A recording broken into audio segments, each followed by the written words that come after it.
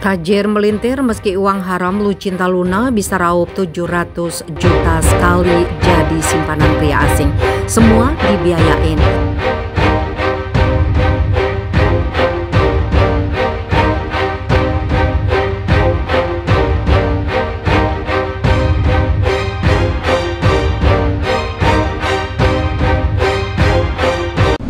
Basa-basi. Selebgram Lucinta Luna sempat membuat banyak orang kebingungan karena hartanya yang melimpah. Hal itu terjadi sebelum Lucinta Luna menjadi terkenal saat ini. Usut punya usut, beberapa sumber kekayaan Lucinta Luna berasal dari Sugar Daddy. Bukan itu saja, Lucinta Luna juga kerap menjadi simpanan beberapa pria tajir di berbagai negara. Fakta mencengangkan ini disampaikan Lucinta Luna saat berbincang dengan YouTuber Atta Halilintar melalui YouTube AHA beberapa waktu lalu. Untuk menemani laki-laki dalam kontrak waktu tertentu, Lucinta Luna bisa meraup uang ratusan juta untuk dibawa pulang ke Indonesia. Zaman-zaman dulu kalau setiap ketemuan ya atau kadang ngantongin pulang dari Kuala Lumpur aku bawa 300 juta. Ucap Lucinta Luna dikutip sosok.id dari Sri Poku. Terkejut, Atta Halilintar mengulik lebih lanjut mengenai hal tersebut. Tiket hotel semua dibiayain, selidik suami Aurel Hermansyah. Udah semua dibiayain, jawab Lucinta Luna. Menurut Lucinta Luna, ada beberapa syarat yang biasanya harus dia penuhi berdasarkan permintaan Sugar Daddy. Ada yang minta aku datang ke sana pakai kerudung, ya kayak Aurel gitu. Pernah pula ia menjadi simpanan pria di berbagai negara termasuk Singapura. Seorang pria Kuwait yang tinggal di Singapura menjadikannya simpanan membuat Lucinta Luna berpenampilan dengan baju muslimah panjang sebagai syarat. Adapun kejadian tersebut terjadi sekitar 8 tahun silam sebelum namanya meroket di industri hiburan tanah air. Aku di Singapura tahun 2014 itu sama Sugar Daddy Kuwait. Itu pakai baju gamis panjang gitu jelas Lucinta Luna. Saat itu Lucinta Luna sudah memiliki kekasih namun karena uang ia rela menjadi simpanan. Bayaran yang didapatkan Lucinta Luna pun fantastis yaitu mulai dari 500 juta hingga 700 juta. Ada yang 500, 700 juta, tandas dia.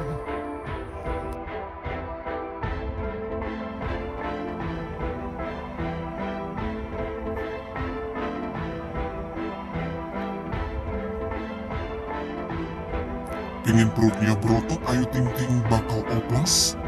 Pedangdut Ayu Ting Ting mengaku sempat berniat melakukan operasi plastik di Korea Selatan. Pelantun Sang Balado itu ingin melakukan hal itu lantaran ingin menjaga penampilannya sebagai penyanyi. Ayu Ting Ting mengatakan ingin melakukan operasi plastik pada dua bagian tubuhnya yaitu perut dan lengan.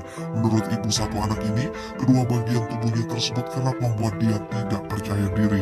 Cuma dua itu doang, kata Ayu Ting Ting dikutip dari kanal Crazy Nikmir Real di Youtube.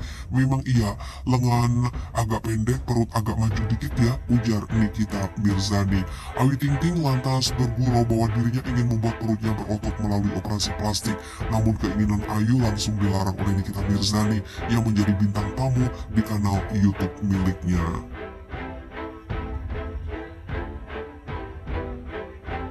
Nikita pun berpesan agar Ayu melakukan olahraga agar bisa mendapatkan bentuk perut yang bagus.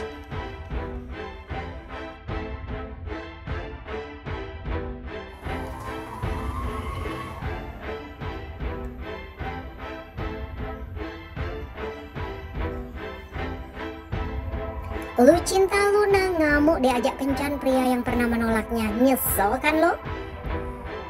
Imbas menjalani serangkaian operasi plastik di Korea Selatan, Lucinta Luna mengungkap ajakan kencan lewat pesan langsung Instagram makin meroket. Kendati demikian, Lucinta Luna menilai ajakan kencan tersebut banyak berasal dari kalangan pria yang pernah menolaknya. Oleh karena itu, Lucinta Luna mengutarakan ekspresi kekesalannya diajak kencan oleh pria yang dulu pernah menolaknya. Buat cowok-cowok semua di luar sana, jangan pada halu ya. Lo orang kenapa sekarang ngemis-ngemis pengen jadi pacar gue? Kata Lucinta Luna dikutip dari Instagram at info artis viral. Lucinta Luna menilai para pria tersebut merasa menyesal sudah pernah menolak dan menghujatnya. Tidak ketinggalan, Lucinta Luna mengeluarkan suara berat ciri khasnya yang populer dikenal sebagai suara kodam. Kemarin lu ke mana aja menghina gue, giliran gue udah operasi lu ngemis-ngemis minta jadi pacar gue. Sekarang nyesal kan lo ujarnya. Oleh karena itu Lucinta Luna berpesan agar tidak ringan tangan menghujat orang lantaran masa lalu kelamnya. Makanya jadi orang tuh jangan suka melihat orang dari sisi latar latar belakangnya aja. Kan nggak tahu dia ke depannya bakal operasi jadi cantik pungkasnya. Lihat melihat itu beberapa netizen turut memberikan respon dan komentar yang beragam. Muka sudah oke okay, tapi suaranya doang tinggal di makeover tulis seorang netizen. Nyeselkan lo kata netizen lain. Suara khas penjual bakso ujar netizen lainnya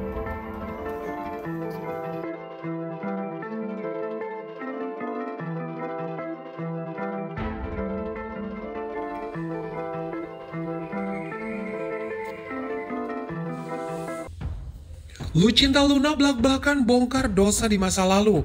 Siapa tidak kenal Lucinta Luna berkarir di dunia hiburan, sosoknya dikenal ceria dan drama pada semua orang. Tapi siapa sangka, Lucinta ternyata pernah bersikap sombong hingga menghancurkan karirnya. Dalam podcast Yonglek bertajuk Berdosa, Lucinta bercerita bagaimana sifat sombongnya kemudian membawa kehancuran di masa puncak karirnya. Lucinta menceritakan dirinya tumbuh dan besar di keluarga sederhana bersama dengan delapan saudara lainnya yang tidak jarang mengalami kesulitan ekonomi. Sejak kecil, dia bertekad untuk menjadi orang sukses yang mampu berdiri sendiri secara finansial, terkenal dan memiliki karir yang cemerlang di industri hiburan. Tekadnya itu mendorong Lucinta Luna Untuk meniti karir sebagai penyanyi, namun perjalanannya tidak semulus yang diharapkan. Dia bahkan sempat masuk penjara karena pemakaian obat-obatan terlarang. Saat dicekoki narkoba, aku selalu bilang dalam hati yang terakhir, namun entah kenapa tidak bisa berhenti sampai akhirnya masuk penjara. Aku baru benar-benar merasa ini titik balik dalam kehidupan aku, ujarnya di podcast Yonglek yang tayang di aplikasi Noise dikutip FIFA Rabu 2 Maret 2022. Lucinta menambahkan saat berada di balik jeruji besi tidak ada satu teman pun yang berada di sampingnya selain keluarga. Padahal dulu, waktu aku sedang ada di puncak karir, aku sudah sangat sombong, jauh dan lupa dengan keluarga aku. Aku seperti kacang lupa kulitnya sama keluarga aku. Jadi pas di penjara, benar-benar bertobat memohon kepada Tuhan untuk dimaafkan semua kesalahan aku dan uh, izinkan aku untuk keluar dari penjara. Karena aku janji selangkah aku keluar dari penjara, aku akan menjadi manusia yang lebih kalem, lebih bersyukur, dan lebih lurus lagi dalam bersosialisasi sosialisasi. Kini Lucinta Luna mengaku semakin siap dan mantap untuk menembus semua kesalahannya di masa lalu. Transpuan itu mengatakan dia membuktikannya dengan sikap yang ditunjukkan untuk semakin dekat dengan keluarga, tidak memulai ataupun terlibat konflik dengan siapa pun, serta mencoba membuat konten yang lebih bisa diterima oleh masyarakat.